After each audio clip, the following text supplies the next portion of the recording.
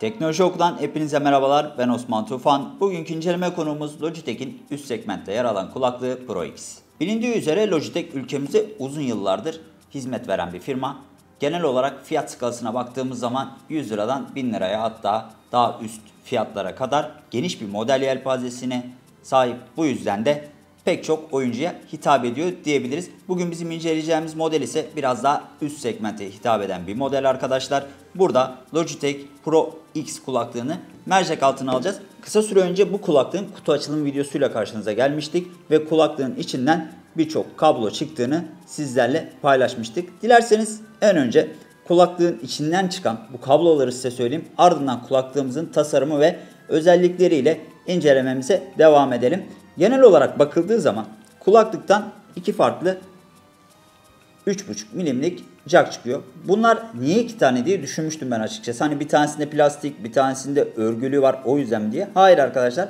Bunun bir tanesi telefon için kullanılıyormuş. Yani bu kulaklığı dışarıda, telefonda da kullanmanız için Logitech kutunun içerisine böyle bir bağlantı yerleştirmiş. Şurada mikrofonlu bir kumanda bulunuyor. Buradan dolayısıyla mikrofonu açıp kapatabiliyorsunuz ya da işte telefonunuz çaldığında telefonunuzu açıp cevaplayabiliyorsunuz. Bunun üzerinde bir de mikrofon yer alıyor. Yani şu Logitech'in dahili harici mikrofonunu takmanızın haricinde buradaki mikrofondan da telefonla konuşmanızı sağlıyor. Bu güzel düşünülmüş bir şey. Tabi bu kulaklığın dışarıda kullanımı ne derece uygun olur? Buna daha sonra değineceğiz. Diğer bir kablo ise şu örgülü gelen kablo. İşte bu kulaklığın asıl amacına hizmet eden kablo diyebiliriz. Bildiğiniz üzere bu bir oyuncu kulaklığı. Dolayısıyla bunu da oyun oynarken kullanıyoruz. Hem konsolda hem de bilgisayarda takıp kullanabiliyoruz. Burada bir ses açıp kısma e, kumandası bulunuyor. Onun yanı sıra hemen ön tarafta da mikrofonu açıp kapama tuşu mevcut. Şurada da yine klasik bir yaka klipsi mevcut. Dolayısıyla bunu da biz oyun oynarken kullanıyoruz.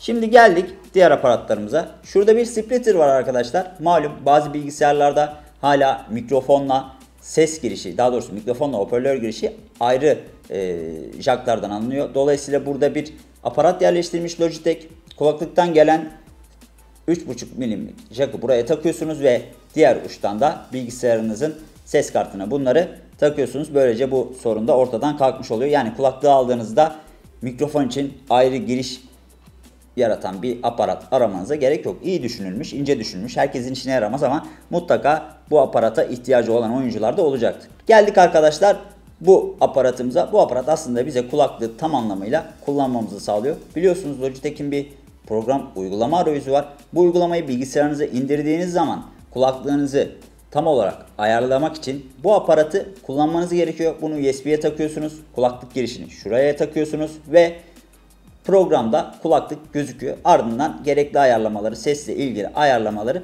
basitçe yapabiliyorsunuz. Buna harici bir ses kartı diyebiliriz. Tabi bir de şu harici mikrofonumuzu unutmamamız gerekiyor. Belki de Logitech'in Pro X modelinin en çok öne çıkan malzemesi bu basit mikrofon diyebiliriz. Bu mikrofon arkadaşlar Logitech tarafından Blue işbirliğiyle üretilmiş. Biliyorsunuz Blue zaten mikrofon tarafında güzel işler yapan bir şirket. Dolayısıyla Logitech burada Blue'nun yardımını almış ve muazzam derecede ses kabiliyeti sunan bir mikrofonu bizlere sunmuş. Bu harici olarak takılıyor. Şu şekilde kulaklığa monte edebiliyoruz bunu. Kulaklığa monte ettiğimizde oturuyor ve rahat bir şekilde kullanım kolaylığı sağlıyor. Dilerseniz şimdi bu malzemelerimizden bahsettiğimize göre gelelim asıl bizim ürünümüze yani Pro X'in kendisine. Pro X arkadaşlar ilk bakıldığında çok da oyuncu kulaklığı gibi durmuyor açıkçası. Biliyorsunuz son dönemde çıkan oyuncu kulaklıklarına baktığımız zaman RGB aydınlatmalar var. Dolayısıyla e, ışıl ışıl, parıl parıl yanan kulaklıklar mevcuttu. Fakat bunda bir RGB aydınlatması yok. Yani cihazın herhangi bir yerinden kırmızı, yeşil, sarı ışıklar çıkmıyor. Bu RGB sevenler için eksi bir yön olarak kabul edilebilir. Fakat aynı şekilde RGB aydınlatmayı sevmeyenler de olacaktır. Dolayısıyla RGB aydınlatmadan hoşlanmayanlar için Logitech'in bu tasarımı gayet sade ve şık diyebiliriz. Gördüğünüz gibi yan taraflarda Logitech'in gamerlara özel ürünlerinde kullandığı G logosu bulunuyor ve kulaklığın şu çatal kısımlarında da alüminyum malzemeler kullanılmış. Üstte ise yani şu kafa bandında ise çelik kullanılmış. Dolayısıyla kulaklığın son derece sağlam olduğunu söyleyebiliriz. Yani çelik ve alüminyumdan yapılmış bir kulaklık duruyor karşımızda. Dolayısıyla bu da son derece sağlam bir kulaklıkla karşı karşıya olduğumuzu bizlere gösteriyor. Gelelim kulaklığın bir diğer önemli özelliğine arkadaşlar. Kutudan şu gördüğünüz kulak petleri de çıkıyor. Bunlar ne? Dilediğiniz zaman şu gelen kulak petlerini çıkartıp bu yeni petlerle bunlar kumaş bunlarla değiştirebiliyorsunuz. Ya da şu kulak petlerinde soyunma olduğu zaman bunları ne yapabiliyorsunuz? Çıkartıp yerine yenisini takabiliyorsunuz. Biliyorsunuz bu pek çok kulaklıkta yok ve bunların olmaması bunlar soyulduğunda kulaklığa kötü bir görüntü veriyor. Dolayısıyla oyuncular bundan rahatsız olabiliyor. Ayrıca bu soyulmalar zamanla kulaklarınızı da kaşındırabiliyor. Yani bunları taktığınız zaman her ne kadar kulak üstü olsa da kulaklarınızı huylandırıyor ya da bu ense taraflarını huylandırıyor ve kaşınmalara sebep olabiliyor. Dolayısıyla bunların çıkması ve yenisinin takılması bence önemli bir artı. Ben öyle düşünüyorum. Bu arada bu süngerlerin son dönemde özellikle üst segment kulaklıklarda gelen hafızalı süngerler olduğunu da belirtelim. Ne demek hafızalı sünger? Yani bu kulaklığı kulağınıza taktığınız anda hemen kafanızın şeklini alıyor ve dolayısıyla kulaklarınızı rahatsız etmiyor. Saatlerce oyun oynasanız dahi kulaklarınızda herhangi bir ağrı sızı olmuyor. Bu arada kulaklığın DTS X 2.0 standartlarını desteklediğinde belirtelim. Ayrıyeten son dönemde pek çok kulaklıkta yer alan 7.1 Surround ses teknolojisi de Logitech'in bu kulaklığında yer alıyor. Gelelim kulaklığımızın fiyatına arkadaşlar. Sonuçta günümüzde e-sporla uğraşmıyorsanız böyle oyun malzemeleri için çok yüksek ücretler ödemek istemeyebilirsiniz. Tabi bu tamamen zevk işi. Oyun dediğimiz olay tamamen bizim vakitimizi daha güzel geçirmemizi sağlayan bir aktivite. Dolayısıyla ekipmanlara ödeyeceğimiz para da bu oranda bizler için önemli olabiliyor ki şunu da atlamamak gerekli. Oyun oynayan kesime baktığımızda genellikle öğrenci olarak nitelendirdiğimiz yaş grubunda bulunanların oyun oynadığını görüyoruz. Dolayısıyla bir öğrenci bütçesiyle kulaklığın ne kadar örtüştüğü de önem arz ediyor. Hemen söyleyelim daha fazla uzatmadan. Logitech Pro X'in şu andaki fiyatı ülkemizde 1100 lira civarında arkadaşlar. Fakat bu kulaklığı ben internette baktım 700 liraya satan yerler de var. Yani fiyat skalası hali geniş. Bakıyorsun aynı kulaklık ama herhangi bir şey var mıdır yok mudur onu tam olarak bilmiyorum. Yani 780 liraydı yanlış hatırlamıyorsam. Satan yerde gördüm. 800-900 de vardı ama genel itibariyle özellikle elektronik marketlerin, teknoloji marketlerin sitelerine baktığımda fiyat etiketinde 1100 lira ile 1200 lira gibi bir rakam gördüm. Yani bunu bugün gidip bir AVM'lerde bulunan teknoloji marketinden satın almaya kalktığınızda 1200 lira gibi bir fiyat ödüyorsunuz. Ses tarafında beklentinizi tamamen karşılıyor. Mikrofon tarafında az önce de belirttiğim üzere Blue işbirliğiyle üretilmiş bir mikrofon söz konusu ve karşı tarafa giden ses tamamen arıtılmış, berrak bir ses.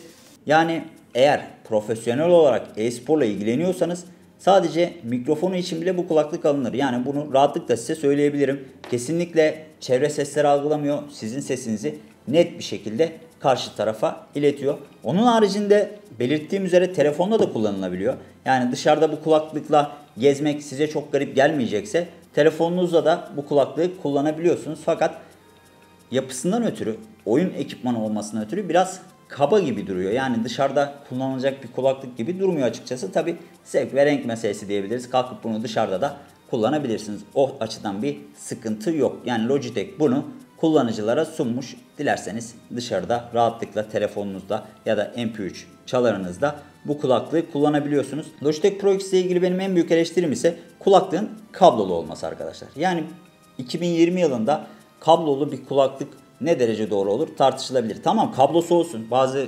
oyuncular kablodan çok daha fazla verim aldıklarını söylüyorlar. Buna kesinlikle itirazım yok. Fakat bu cihazın içine bir Bluetooth ya da Wi-Fi modülü yerleştirip kablolu ve kablosuz opsiyonunu da ayırabilirlerdi. Yani dileyen kişiler kablolu kullanabilirdi. Dileyen kişiler kablosuz kullanabilirdi. Buna izin verebilirlerdi. Fakat Logitech böyle bir ayrıma gitmemiş. Kulaklığın fiyatını da göz önüne aldırdığımız zaman bu ikilemi yapması gerekiyordu bence. Lakin az önce de belirttiğim üzere bunda kablosuz bağlantı seçeneği bulunmuyor. Kutudan bir sürü kablo çıkıyor. Bu kabloları kullanarak istediğiniz bağlantıyı gerçekleştirebiliyorsunuz. Toparlamak gerekirse fiyatına baktığımız zaman bu ürün fiyatını hak ediyor mu? Evet gerçekten ses kalitesi üst düzeyde. Yani özellikle FPS oyunlarında gerçekten en küçük tıkırtıyı bile duyuyorsunuz. Tabi bu oyunla da alakalı bir durum fakat en küçük mesela başka bir kulaklıkta ya da normal seste e, hoparlörden aldığınız sesle duyamadığınız şeyleri bu kulaklıkta rahatlıkla duyabiliyorsunuz. Orada hiçbir sıkıntı yok. Belirttiğim üzere mikrofonda görüşmeler çok berrak bir şekilde karşıya iletiliyor. Orada da bir sıkıntı yok. Lakin belirttiğim üzere çok fazla kablo bağlantısı olması ve fiyatının birazcık yüksek olması insanın elini kolunu bağlıyor. Eğer fiyat seviyesi biraz daha düşük olsaydı atıyorum 400 lira 500 lira olsaydı bizim için muazzam bir ürün diyebilirdim. Lakin 1200 seviyelerinde eğer zevk için oyun oynuyorsanız ve bütçeniz çok çok çok iyi değilse alınabilecek bir kulaklık mı tamamen siz seyircilerimize kalmış bir durum. Başka bir incelemede görüşmek üzere. Hoşçakalın arkadaşlar.